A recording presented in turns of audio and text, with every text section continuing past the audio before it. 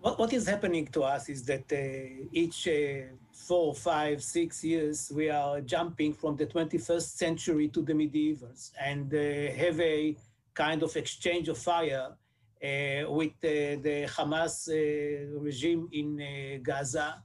We finish it after a few days. Every side says that he won the, this kind of war and uh, there is a silence for, for a while, and then after a few years, we uh, get back to uh, shoot each other. It is, it is really very frustrating, and the question of who won, who lost is really totally marginal. We've been here before, though, as you rightly point out there, where we have seen uh, ceasefires or truces. Uh, what's different this time, if anything? Why should it be different?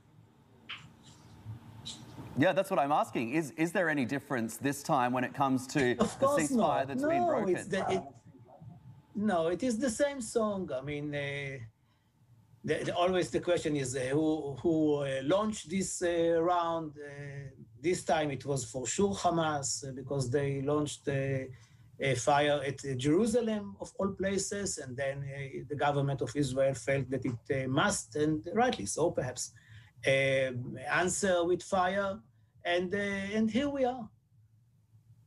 Israel, of course, was active in helping broker this ceasefire. Would you like to see the dialogue? Uh, sorry, Egypt rather was uh, a part of brokering this deal. Would you like to see Egypt continue uh, to be active in, of course, mediating discussions between the two sides?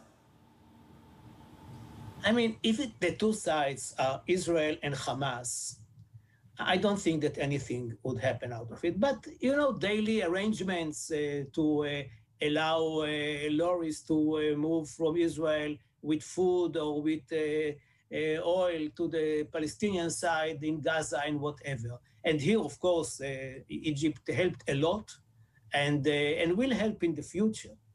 But the question is about the bigger picture.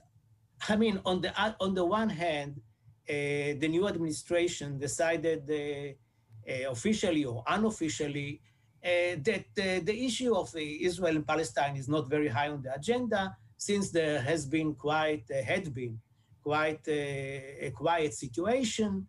And, and, and since Netanyahu is not eager to partition the land and to have an agreement with the Palestinians and the Palestinian president Abbas uh, Uh, is too weak, uh, so let us deal with other things. Now, I can, of course, appreciate that the only superpower in the world has other issues on its agenda. But what happened very, very soon is that uh, it exploded uh, in uh, our faces.